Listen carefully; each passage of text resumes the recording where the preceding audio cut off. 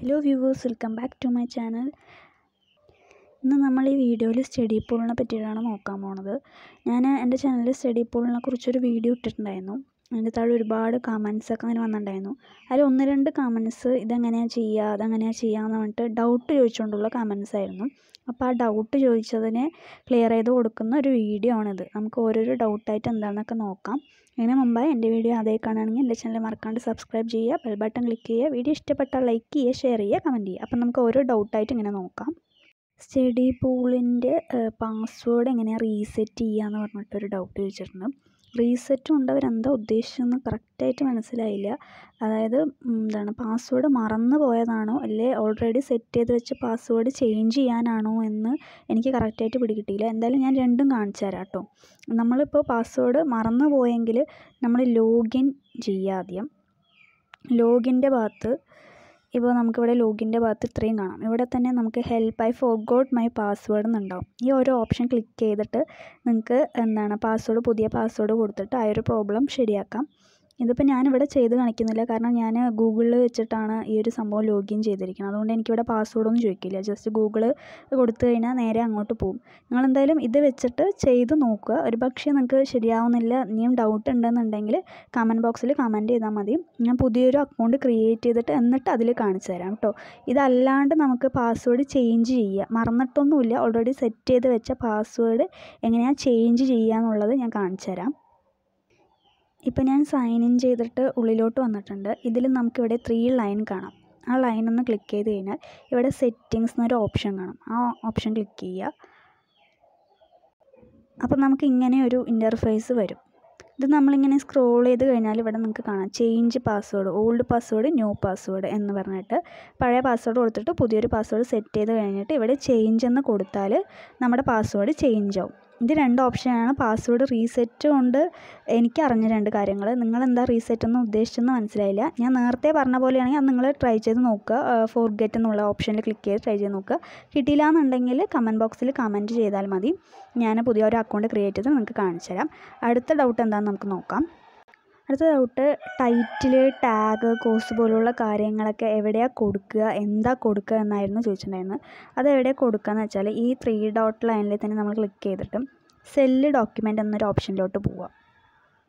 അപ്പോൾ നമുക്കിവിടെ sell document അതുപോലെ മൈ അപ്ലോഡ് ഫ്രീ ലോക്ക് എന്നൊക്കെ കാണും. ഈ സെല്ല് ഡോക്യുമെന്റ് തന്നെ ഇങ്ങനെ സ്ക്രോൾ ചെയ്ത് താഴോട്ട് പോയി കഴിഞ്ഞാൽ നമ്മൾ അപ്ലോഡ് ചെയ്ത ഡോക്യുമെന്റ്സും കാര്യങ്ങളൊക്കെ ഇവിടെ വരും. ഇതിൽ നമ്മൾ കുറച്ചും കൂടെ താഴോട്ട് പോയി കഴിഞ്ഞാൽ ഇവിടെ വ്യൂ ഓൾ എന്നുണ്ടാവും ഇതിൽ ക്ലിക്ക് ചെയ്തിട്ടും ചെയ്യാം. ഞാൻ പറഞ്ഞുതരാം. ഇതിൽ ക്ലിക്ക് ചെയ്തിട്ടും ചെയ്യാം. ഇതല്ലാണ്ടും നമുക്ക് ചെയ്യാം. അതായത് ഇവിടെ തന്നെ മൈ അപ്ലോഡ് എന്നൊരു ഓപ്ഷൻ ഉണ്ട്. അത് ക്ലിക്ക് ചെയ്യാം അത് ക്ലിക്ക് ചെയ്താലും ഇങ്ങനെ ഓപ്പണായി വരും. ഇതിന്റെ താഴെ നമുക്കിവിടെ കാണാം. നമ്മൾ അപ്ലോഡ് ചെയ്ത ഡോക്യുമെന്റ്സ് ഒക്കെ ഇങ്ങനെ നിര നിരയെന്ന് കിടക്കുന്നുണ്ടാവും. ഇതിന് ഇങ്ങോട്ട് നമ്മുടെ ലെഫ്റ്റ് സൈഡോട്ട് ഇങ്ങനെ നീക്കി കഴിഞ്ഞാൽ ഇവിടെ പെൻസിൽ ബാറും ഒരു ഐന്റെ ചിഹ്നവും കാണാം. നമുക്ക് ഇവിടെ എല്ലാത്തിനും കാണാം. പെൻസിലും ഐന്റെ ചിഹ്നമൊക്കെ ഇപ്പോൾ ഞാൻ ഇവിടെ ബയോജിവി ജിയോഗ്രഫിക് റീജിയൻ പറഞ്ഞിട്ടൊരു ഡോക്യുമെന്റ് അപ്ലോഡ് ചെയ്തിട്ടുണ്ട്. അതിൽ ഞാൻ ഈ പെൻസിൽ ബാർ ഒന്ന് ക്ലിക്ക് ചെയ്യണം.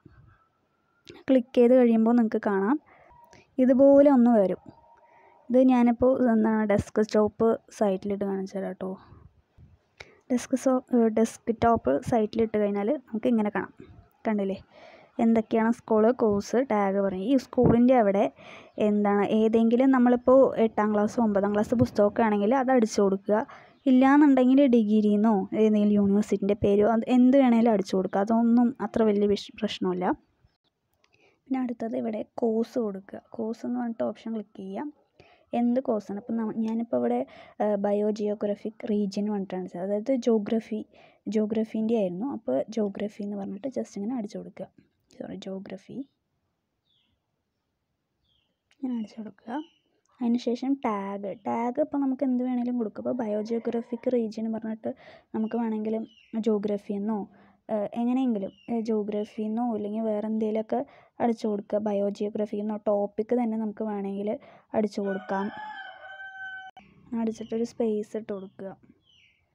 ഇങ്ങനെ ഇപ്പം ഞാൻ രണ്ട് രണ്ട് ടാഗ് കൊടുത്തിട്ടുണ്ട്. വേണമെങ്കിൽ നമുക്കിവിടെ ഒരു കോമയൊക്കെ ഇട്ട് കൊടുക്കാം കേട്ടോ. ഇനി ഇങ്ങനെ കൊടുത്തിട്ടുണ്ട്. എന്നിട്ട് നമുക്ക് സേവ് ആൻഡ് അപ്ഡേറ്റ് എന്ന് കൊടുക്കുക. അപ്പോൾ ഇത് ഓട്ടോമാറ്റിക്കായിട്ട് ഇവിടെ ഇങ്ങനെ സേവ് ആയിട്ടുണ്ടാവും. വേണ്ടില്ലേ നമ്മൾ കൊടുത്ത ടാഗൊക്കെ ഇങ്ങനെയായിട്ട് ഒരു രണ്ട് ടാഗ് കൊടുക്കണമെന്നൊന്നുമില്ല.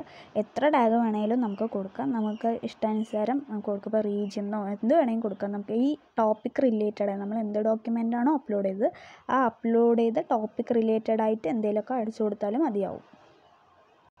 ഇനി അടുത്തൊരു ഡൗട്ട് ചോദിച്ചിട്ടുണ്ടായിരുന്നു. ഇതിൽ ബാങ്ക് ഡെപ്പോസിറ്റ് ഉണ്ടോ എന്ന് ബാങ്ക് ഡെപ്പോസിറ്റ് പറഞ്ഞിട്ടൊരു ഒരു ഓപ്ഷൻ ഞാൻ അതിൽ കണ്ടിട്ടുണ്ടായിരുന്നു. ഞാൻ നിങ്ങൾക്ക് കാണിച്ചു തരാം. ഇതിൽ എന്തൊക്കെ പേയ്മെന്റ് ഓപ്ഷൻ ഉണ്ട് എന്നുള്ളത് നമുക്ക് എങ്ങനെ നോക്കാമെന്ന് വെച്ചാൽ ഈ ത്രീ ഡോട്ടിൽ ക്ലിക്ക് ചെയ്യാം. അത് കഴിഞ്ഞ് നമ്മുടെ മൈ ബാലൻസിൽ ക്ലിക്ക് ചെയ്യാം. ക്ലിക്ക് ചെയ്ത് കഴിഞ്ഞാൽ ഇങ്ങനൊരു ഇന്റർഫേസ് വരും. അതിൽ നമുക്ക് ഇവിടെ കാണാം. വിഡ്രോവൽ മണി എന്നൊരു ഓപ്ഷൻ അതിൽ ക്ലിക്ക് ചെയ്യുക അതിൽ ക്ലിക്ക് ചെയ്ത് കഴിഞ്ഞാൽ ഇങ്ങനെ നിങ്ങൾക്ക് സ്ക്രോൾ ചെയ്താൽ കാണാൻ പറ്റും ഇവിടെ. Payoneer PayPal transfers Western Union അതുപോലെ ഇത് കണ്ടില്ലേ? എ സി എച്ച് ആണ് ബാങ്ക് ഡെപ്പോസിറ്റ് എനിക്ക് തോന്നുന്നു ഇതാണ് ഡയറക്റ്റ് ബാങ്കിലോട്ട് വിഡ്രോൾ ചെയ്യണ ഒരു ഓപ്ഷൻ എന്ന് വിചാരിക്കണം പിന്നെ ചെക്ക് പിന്നെ എം എം പി എന്ന് പറഞ്ഞിട്ട് ഒരു ഓപ്ഷൻ അങ്ങനെയൊക്കെ ഉണ്ട്. പിന്നെ അതുപോലെ തന്നെ അതിന്റെ ഓരോന്നിന്റെയും നേരെ എഴുതിയിട്ടുണ്ട് കേട്ടോ. ഇങ്ങനത്തെ കാര്യങ്ങളൊക്കെ എഴുതിയിട്ടുണ്ട്. ഇങ്ങനെ എത്ര സർവീസ് ചാർജ് ഉണ്ട്. അതുപോലെ ഇത്ര സമയം എടുക്കും എന്ന് പോലുള്ള കാര്യങ്ങളൊക്കെ ഉണ്ട് അതൊക്കെ വായിച്ചിട്ട് നിങ്ങൾക്ക് എന്തെങ്കിലും പേയ്മെന്റ് ഒക്കെ കിട്ടിയെങ്കിൽ അതിനനുസരിച്ച് വിഡ്രോൾ ചെയ്യുക. അടുത്ത് കണ്ടൊരു ഡോക്യു ഡൗട്ടെന്ന് വെച്ചിട്ട് ഇത്തരം ഡോക്യുമെന്റ് എങ്ങനെയാണ് അപ്ലോഡ് ചെയ്യുന്നത്? എഴുതിയിട്ട് ഫോട്ടോ എടുത്തിട്ടൊക്കെയാണ് ഇങ്ങനെ അപ്ലോഡ് ചെയ്യുന്നത് എന്നൊക്കെ ചോദിച്ചിട്ടുണ്ടായിരുന്നു. ഇതിൽ ഡോക്യുമെന്റ് ഞാൻ അപ്ലോഡ് ചെയ്തതൊക്കെ പി ഡി എഫ് ആയിട്ടാണ്. നിങ്ങൾക്ക് ഒരു ഡോക്യുമെന്റ് എങ്ങനെ പി ഡി എഫ് ആക്കുക എന്നിട്ട് അതെങ്ങനെയാണ് അതിലോട്ട് അപ്ലോഡ് ചെയ്യുക എന്ന് ഞാനതിൽ കാണിച്ചു തരാം. ഞാൻ പി ഡി എഫ് ആക്കാൻ വേറെ ആപ്പോ കാര്യങ്ങളോ ഒന്നും ഞാൻ യൂസ് ചെയ്യാറില്ല കേട്ടോ. ഞാൻ ഡ്രൈവാണ് യൂസ് ചെയ്യാറുള്ളത്. എല്ലാവരുടെ ഫോണിലും ഉണ്ടാവും ഡ്രൈവ് ഞാൻ കാണിച്ചു തരാം അതിലെങ്ങനെയാണ് പി ഡി എഫ് ആക്കുക എന്നുള്ള കാര്യങ്ങളൊക്കെ. ഇതാണ് ഡ്രൈവ് ഈ ഡ്രൈവിലോട്ട് നമ്മൾ ക്ലിക്ക് ചെയ്യുക. അപ്പോൾ നമുക്ക് ഇങ്ങനെ തുറന്ന് വരും. ഇങ്ങനെ സംഭവം തുറന്ന് വരും. നമുക്ക് ഒന്നോ രണ്ടോ അല്ലെങ്കിൽ ഒന്നിലധികം മെയിൽ ഉണ്ടെങ്കിൽ ഏത് മെയിലിലോട്ട് വേണോ ആ മെയിലിലോട്ട് നമ്മളിവിടെ ഇങ്ങനെ ലോങ് പ്രസ് ചെയ്ത് കഴിഞ്ഞാൽ ഏത് മെയിലാണോ വേണ്ടത് അത് ചൂസ് ചെയ്ത് എടുക്കാവുന്നതാണ് കേട്ടോ ഇപ്പോൾ എന്റെ കയ്യിൽ ആകെ രണ്ട് മെയിൽ തന്നെ ഉള്ളൂ. ഇതിന് ഞാൻ രണ്ടാമത്തെ മെയിലിൽ വെച്ചിട്ടാണ് ഡോക്യുമെന്റ് എങ്ങനെയാണ് അല്ല പി ഡി എഫ് എങ്ങനെ ആക്കുക എന്നുള്ളത് കാണിച്ചു തരാൻ പോണത്. ഇങ്ങനെ ഇന്റർഫേസ് തുറന്നു വന്നാൽ ഇവിടെ നമുക്കൊരു പ്ലസ് ബട്ടൺ കാണാം. ആ പ്ലസ് ബട്ടൺ അങ്ങ് ക്ലിക്ക് ചെയ്യുക. ഇതിൽ ഫോൾഡർ അപ്ലോഡ് സ്കാന് മൂന്നാമത്തതായുള്ള സ്കാൻ എടുക്കുക.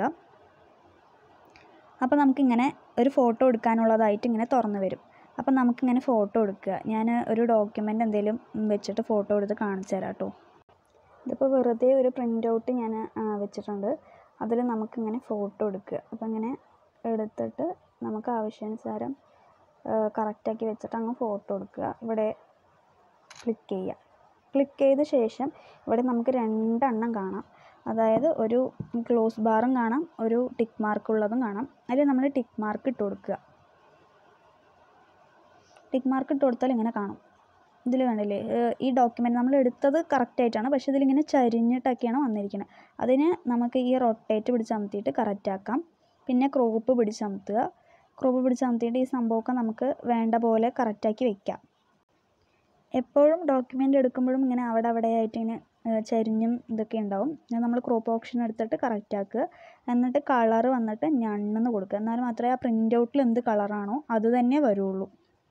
ഒരു പേജ് നമുക്ക് എടുക്കാനുള്ളെങ്കിൽ ഇവിടെ വേണമെങ്കിൽ റീനെയിം ചെയ്ത് കൊടുത്തിട്ട് സേവ് കൊടുക്കാം. ഇനിയിപ്പോൾ ഒന്നിലധികം പേജ് ഉണ്ടെങ്കിൽ എഗെയിൻ ഈ ഒരു പ്ലസ് ബാർ കാണാം. അത് ക്ലിക്ക് ചെയ്യുക. അത് ക്ലിക്ക് ചെയ്താൽ വീണ്ടും ഇങ്ങനെ തുറന്ന് വരും. ഫോട്ടോ തുറന്ന് വരും. നമുക്ക് വീണ്ടും എടുത്തിട്ട് ജസ്റ്റ് ഒരു ഫോട്ടോ ഇങ്ങനെ എടുക്കുക. എന്തെങ്കിലും എടുക്കട്ടെ. ഞാനിപ്പോൾ ജസ്റ്റ് ഒന്ന് കാണിച്ചു തന്നാണ് നിങ്ങൾക്ക് ഒരു ഐഡിയ കിട്ടാനായിട്ട്. ഇതിപ്പോൾ ഞാൻ രണ്ട് ഫോൺ വെച്ചുകൊണ്ട് എനിക്ക് കറക്റ്റായിട്ട് എടുക്കാൻ പറ്റുന്നില്ല. എന്തായാലും ജസ്റ്റ് ഞാൻ അങ്ങനെ കാണിച്ചു തരാം. അപ്പോൾ ഏതെങ്കിലും ഒരു ഫോട്ടോ ഇങ്ങനെ എടുക്കുക. എഗൈൻ ടിക്ക് മാർക്കും ക്ലോസ് മാർക്കും വരും. ടിക്ക് മാർക്ക് കൊടുക്കുക. എന്നിട്ട് കളറ് ഞണ്ണ് കൊടുക്കുക. ക്രോപ്പ് ചെയ്യണമെങ്കിൽ ക്രോപ്പ് ചെയ്യുക. അല്ല റൊട്ടേറ്റ് ചെയ്യണമെങ്കിൽ റൊട്ടേറ്റ് ഇത് റൊട്ടേറ്റ് ഓപ്ഷനാണ് കേട്ടോ ഇത് ക്രോപ്പ് വേണമെങ്കിൽ ഇങ്ങനെ ഇങ്ങനെ വലിച്ച് വലിച്ചിട്ടൊക്കെ നമുക്കിത് കറക്റ്റാക്കുക ഡണ്ണ് കൊടുക്കുക. വേണമെങ്കിൽ പി ഡി എഫിന്റെ നെയിം വേണമെങ്കിൽ നമുക്ക് റീനെയിം കൊടുക്കാം. ഇപ്പോൾ ഇവിടെ റീനെയിം സ്കാൻ എന്ന് പറഞ്ഞിട്ട് വേണമെങ്കിൽ കൊടുക്കാം. ഞാൻ തൽക്കാലം ഒന്നും കൊടുക്കണില്ല. വേണമെങ്കിൽ നിങ്ങൾക്ക് കൊടുത്തിട്ട് ഓക്കെ പിടിച്ചമർത്തുക എന്നിട്ട് സേവ് കൊടുക്കുക. വീണ്ടും സേവ് കൊടുക്കുക. അപ്പോൾ ഇതുപോലെ അപ്ലോഡ് ആവും. ഇപ്പോൾ ഇവിടെ പി ഡി എഫ് ഓക്കെ ആയിട്ടുണ്ട് കേട്ടോ ഇങ്ങനെയാണ് ഞാൻ പി ഡി എഫ് ആക്കണത്. ഇനി എങ്ങനെ അപ്ലോഡ് ചെയ്യണമെന്ന് നമുക്ക് ഞാൻ കാണിച്ചു തരാം സ്റ്റഡി പോൾ ആ വെബ്സൈറ്റ് ഒന്ന് ഓപ്പൺ ചെയ്യുക. അങ്ങനെ സ്ക്രോൾ ചെയ്യുക. അപ്ലോഡ് മോർ ഫയൽസ് എന്നുണ്ട്. അതിൽ ക്ലിക്ക് ചെയ്യുക. ഫയൽസിലോട്ട് ക്ലിക്ക് ചെയ്യുക. ഇവിടെ നമ്മൾ അപ്ലോഡ് ചെയ്ത ആ സ്കാൻ ചെയ്ത അതും വന്നിട്ടുണ്ട്. അല്ലാത്ത രണ്ടെണ്ണം വന്നിട്ടുണ്ട്. അപ്പം ഞാനിതിൽ ഏതെങ്കിലും ഒന്ന് ഞാനിത് ക്ലിക്ക് ചെയ്യണം. ഇതുപോലെ ഇങ്ങനെ കാണിക്കും. കുറച്ച് നേരം നമ്മളെ കൊണ്ട് വെയിറ്റ് ചെയ്യാൻ പറയും. സ്ക്രീനൊന്നും ക്ലോസ് ചെയ്യണ്ട എന്നൊക്കെ പറയും. ഇപ്പോൾ ഇവിടെ one file was successfully uploaded കൊണ്ട് കാണിക്കും. അപ്പം നമ്മളിവിടെ ജസ്റ്റ് ഓക്കെ എന്ന് കൊടുക്കുക. കൊടുത്തു കഴിഞ്ഞാൽ നമ്മുടെ ഡോക്യുമെന്റ് അപ്ലോഡ് ആയിട്ടുണ്ടാവും. അപ്ലോഡ് ആയിക്കഴിഞ്ഞാൽ പിൻ അതായത് പ്രോസസ്സിങ് ചെയ്തിട്ടാണല്ലോ അപ്രൂവ്ഡ് ആണോ അല്ലയോ എന്നുള്ളത് കാണിക്കുള്ളൂ. അപ്രൂവ്ഡ് ആയിക്കഴിഞ്ഞാൽ ഇവിടെ കാണിക്കും. ഇതിപ്പോൾ പെൻഡിങ്ങിലാണ്. അതുകൊണ്ടാണ് ഇവിടെ കാണിക്കുന്നത്. ചിലപ്പോൾ ഒരു ദിവസം അല്ലെങ്കിൽ രണ്ട് ദിവസത്തിനകം അത് അപ്രൂവ്ഡ് ആയോ ഇല്ലയോ എന്നുള്ളത് നമുക്ക് അറിയാൻ പറ്റും കേട്ടോ ഇതാണ് ഞാൻ കമന്റിൽ കണ്ട കണ്ട ഡൗട്ടിനൊക്കെ ഞാനിപ്പോൾ ക്ലിയറായി പറഞ്ഞു തന്നു വിചാരിക്കുന്നു. ഇനിയും എന്തെങ്കിലും ഡൗട്ടൊക്കെ ഉണ്ടെങ്കിൽ കമന്റ് ബോക്സിൽ കമന്റ് ചെയ്യാം. തീർച്ചയായും ഞാൻ റിപ്ലൈ ഒക്കെ ചെയ്യുന്നതായിരിക്കും. വേറെ എന്തെങ്കിലും സ്റ്റഡി പ്ലാനെ കുറിച്ച് പറയാനുണ്ടെങ്കിലോ അല്ലെങ്കിൽ നിങ്ങൾക്ക് വേറെ ഏതെങ്കിലും വെബ്സൈറ്റിനെ കുറിച്ച് അറിയണം അല്ലെങ്കിൽ ആപ്പിനെ കുറിച്ച് അറിയണമെന്നുണ്ടെങ്കിൽ ആപ്പിന്റെ പേരും കാര്യങ്ങളൊക്കെ കമന്റ് ബോക്സിൽ പറഞ്ഞാൽ മതി. ഇത്രയേ ഉള്ളൂ. ഡൗട്ടൊക്കെ ക്ലിയർ ആയി കാണുമെന്ന് വിചാരിക്കണം വീഡിയോ ഇഷ്ടപ്പെട്ടാൽ ലൈക്ക് ചെയ്യുക ഷെയർ ചെയ്യുക കമന്റ് ചെയ്യുക മറക്കാണ്ട് സബ്സ്ക്രൈബ് ചെയ്യുക ബെൽ ബട്ടണും കൂടെ ക്ലിക്ക് ചെയ്യുക. ഇനി ഒരു പുതിയ വീഡിയോ ആയിട്ട് വീണ്ടും കാണാം. Bye bye from A G